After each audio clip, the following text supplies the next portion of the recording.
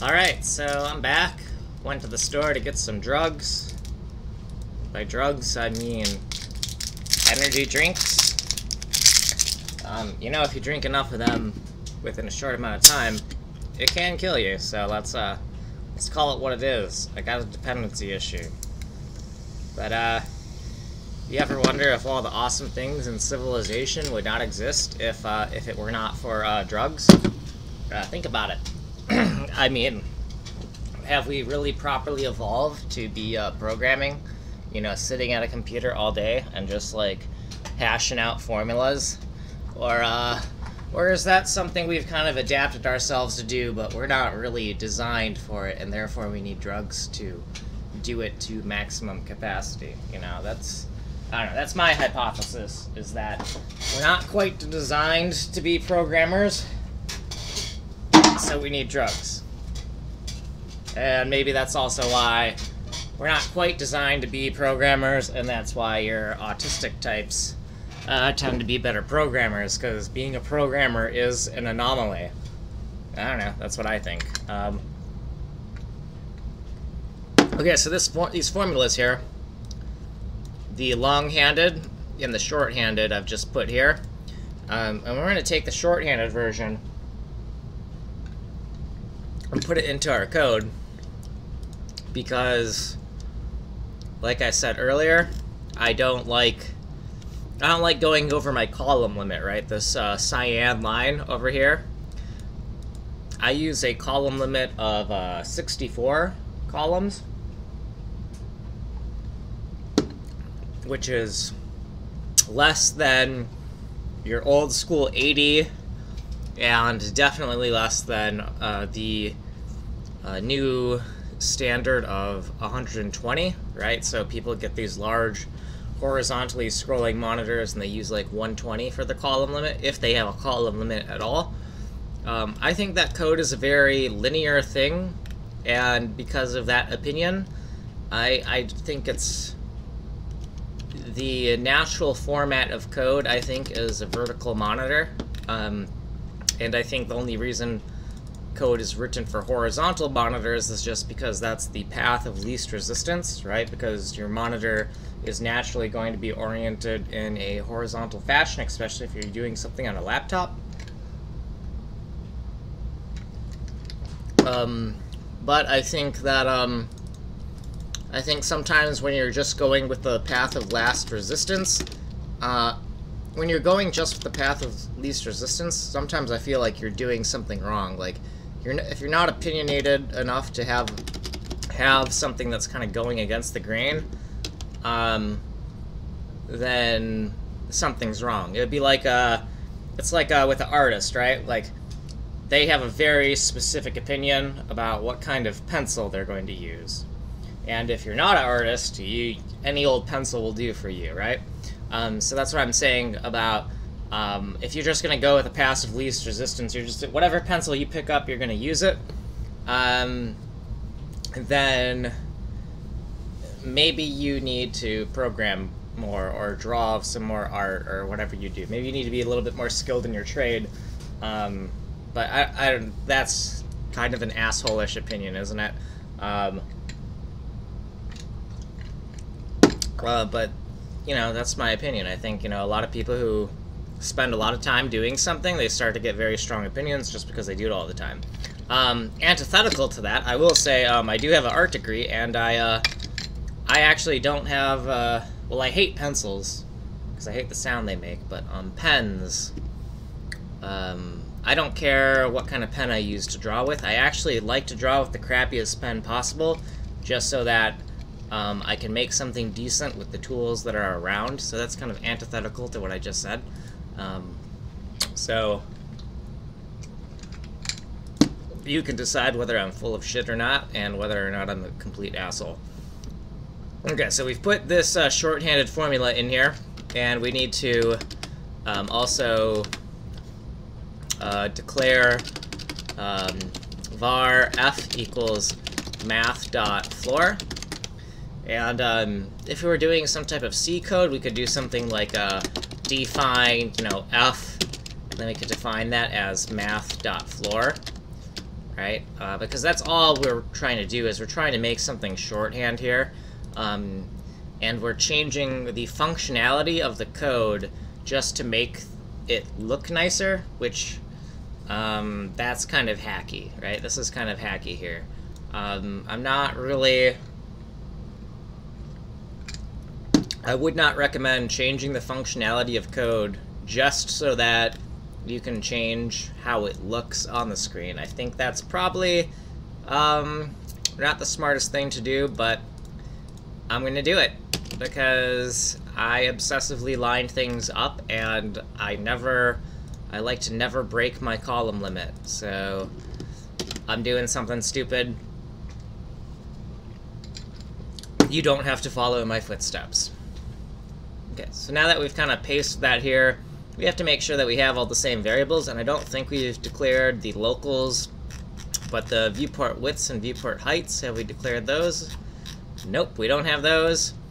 Um, so we need to uh, cut and paste some stuff from our our work that we've been doing over here, which we got a lot of a lot of uh, work. Um, let's uh, let's just take these width and height calculations and we'll put them into uh, the main code, and that just has to be up here at the top somewhere. Um, so, all right. And then same thing with the uh, width and height of the uh, source. So instead of D, we're going to use S. And um, also, this needs to be width and height. Width and height, width and height.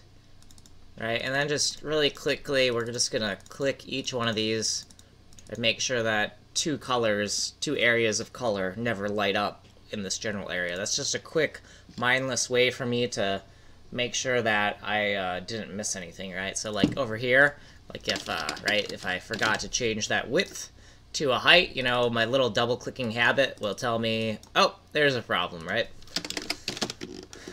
Okay, so that looks good. And we might want to make a comment and also get rid of some of the spacing here.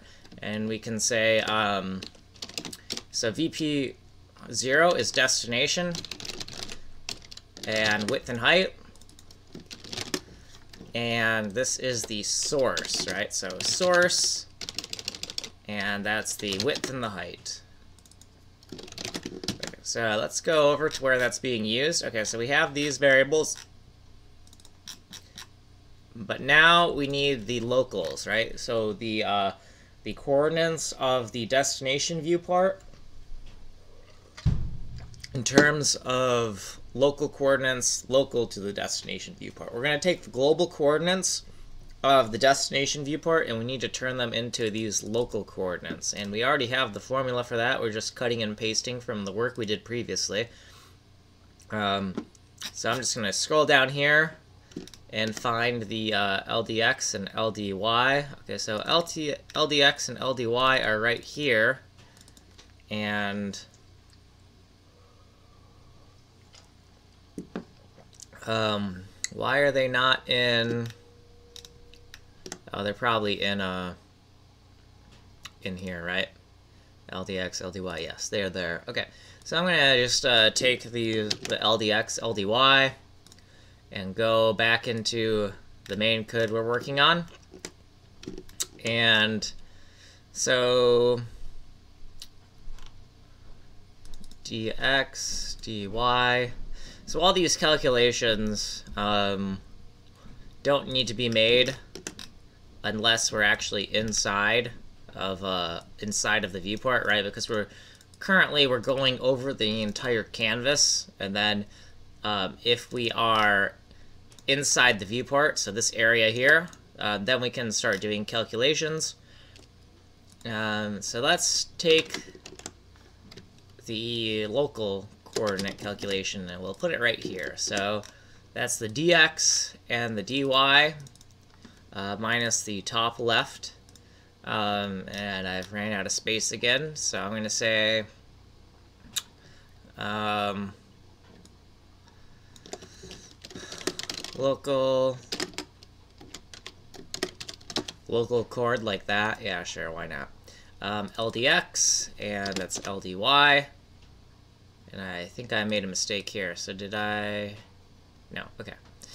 So local chord, destination X, and destination Y. LDX, LDY, DX, minus the, um, the left bound, DY, minus the top bound.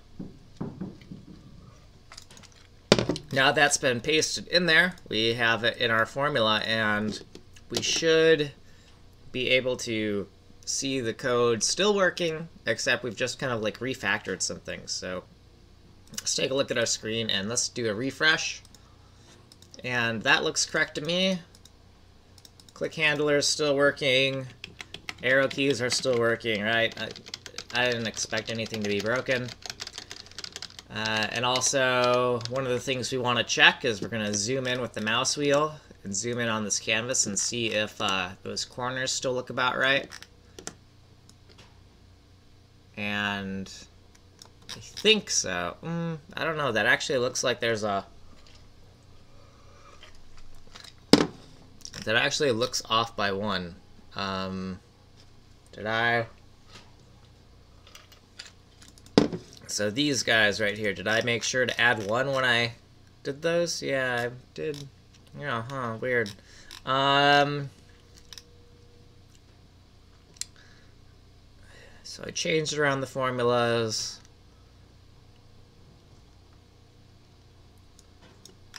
Well, let's, uh, let's really quick, let's, um, you know, the plus ones are in there in our calculations right here. So if I uh, make these into zeros, the incorrect formulas, uh, what are we going to get? Are we going to... Okay, so it's more like more like that. Yeah, so that's definitely two pixels. Yeah, that's definitely... Okay, yeah. I'm just making sure, because um, it seems like um, everything... Okay, so now... Okay, that's definitely one pixel, and that's one pixel. So without seeing the contrast uh, and looking at that top corner, I was just a little bit confused as to whether that was correct or not. But okay, seeing the difference between the incorrect formula and the correct formula, um, that's still good. So my refactoring did not change anything um, that I am aware of. And I've given some thought to how we're going to make a colored border around uh, each tile. And the way we're going to do that is um, this is actually going to be easier just to do the one pixel border around it, which is what I want anyways um, because all we have to do is detect if the uh, the local coordinate is the local is the local y or the local x zero, or is the local y or local x at the maximum possible value it can be for the local coordinate range, right? That's all we have to do to figure out whether or not we should put down a solid line of color. Um, so let's take a look at our code. So we know where we're actually putting down the color. It's right here. And let's see, convert xy to index. Okay, so this is just converting um, the sy and sx, so the source, the source position. So that's fine. That's all fine there. This is like an inlined pixel setting right there. And what we're concerned with is this RGB. Where is the RGB being defined? Oh, well, it's right here. It's um, This is the pixel... Well, hold on. Oh no, this is uh, this is the sampling, right? We're sampling the color of the pixel slash tile that's on the source. So that's all correct, but it's then it's I guess it's here where we might want to do a different RGB with like a black lining if we are at that border. Um, so we got our local x's, yeah, LDX, LDY. Um, so uh, what I'm going to do is I'm just going to write it as... I'm going to make up some variable names as I'm writing it so it doesn't interrupt the flow of the whole process here. So if uh, LDX is... Um, technically, if it's equal to 0, but sometimes I'll do less than or equal to 0, even though, you know, that should never... That should never happen. So... Um let's see, how do we write this so that if uh, the coordinate is invalid, we get a little bonus error checking? So if LDX, um, so if 0 is equal to LDX, so we don't accidentally do any assignment, or LDX, or, or if um, LDX max um, equals LDX. Um, okay, well, what do I have to worry? Out of these two, since these are both uh, variables, um, what would cause the most trouble if it accidentally got assigned? And I'm going to say what would cause the most trouble is assigning to LDX max, because we're going to calculate that outside. I think we're going to, we might calculate that outside of the loop. Um, yeah, because um, that's going to be determined by the tile size. Okay, so because we're probably going to calculate LDX max outside of the loop, um, if we accidentally corrupt this with an, with an assignment like this, like everything's going to be in trouble. Um, versus if we do this, um, right, and we accidentally overwrite it uh, once in a loop, it doesn't matter because this gets recalculated. Well, it still matters, but then this gets recalculated the next loop, and then um, we haven't totally corrupted the state for scanning through all of the pixels. Um, but you could argue that maybe this is the wrong order because now the the problem is going to be when you look at it's going to be if this produces any artifacts, the artifacts that this produces are going to be much more subtle than the artifacts that this produces, right? Um, so maybe we want to do it this way just because if we do accidentally screw it up, it's going to be much more obvious. And uh, if, if we're going to have code that is erroneous, do we want it to be um, noticeable or do we want it to be subtle? Right? Um, I guess we want it to be as noticeable as possible, um, right? So I'll keep the assignment in this order, right? So if we accidentally corrupt this value, it's going to be corrupted for the entire uh, rest of looping over the canvas, and it'll be very noticeable. Okay, so if we are on one of these borders, uh, then um, we will uh, do like the checkered uh, pattern. And then uh, else uh, if um, LDX is greater than 0 and LDX is less than LDX max. And in that case, uh, just uh, no, no edits or do nothing. And then else uh, throw LDX is out of bounds. And uh, for this, so if we are on the uh, the left-right kind of border, we could do RGB. Um, let's actually do something like RGB. Um, okay, well, we got to remember that arrays are passed by reference, so if we just assign the RGB array to another array called RGB black, we're gonna be in some uh, we're gonna be in some pain. Uh, and so to make sure we don't accidentally screw anything up like that, we can go all the way up here. I see we already have RGB black and RGB. And what we can do is have something called var RGB ref and we'll set that to null. And then RGB ref is like a pointer. That will point to either RGB or RGB black, and that way we don't accidentally um, get like weird pass by reference errors because you know I was about to uh, assign RGB equals you know RGB black. And that would cause that would cause some serious problems um, because they're reference types right and so now we're just gonna uh, overwrite this array and now RGB black and RGB will point at the same thing and you'll get a whole bunch of weird things and yeah, it'll be a bad time for you. So very important to know the difference between reference types and value types as as far as how it works when they are assigned. So let's uh, do this. We're going to take RGB ref equals RGB black here, right? And then in the put pixels down here, instead of just using the hard-coded RGB, we can use RGB ref, right? and that way we know uh, that we're not going to get any pass by reference errors. Uh, the other thing we gotta uh, remember is, well, if we're going to do that, we gotta say RGB ref equals RGB here as well, so that um, if we we are not on the border, we still have the proper value for the art for this uh, uh, color.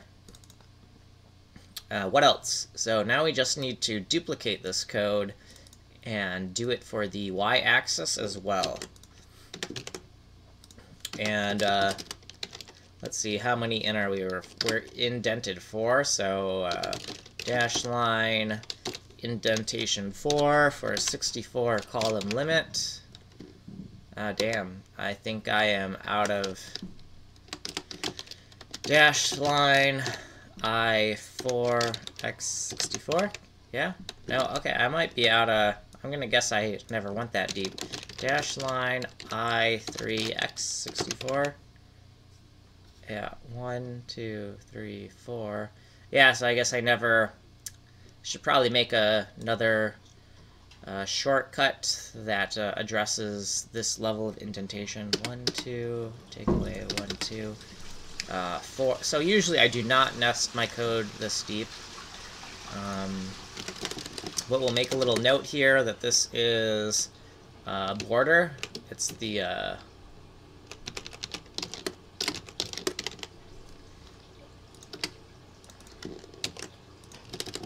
this area is our like border is our border code. So between these B's here, that's for border. B is for border. B is for border. Um, uh, one pixel thick border. Before we forget, we have to take anywhere where it says LDX on this section, and we just gotta convert these to Ys. And then also we have to calculate the LDX and LDY maximums for the, uh, the valid range of the local coordinates. Oop. Um, and then, okay, so I just ran out of time, so I'm going to stop recording this video. I'll keep the stream going, and because uh, I don't want my YouTube videos to to go uh, for too long.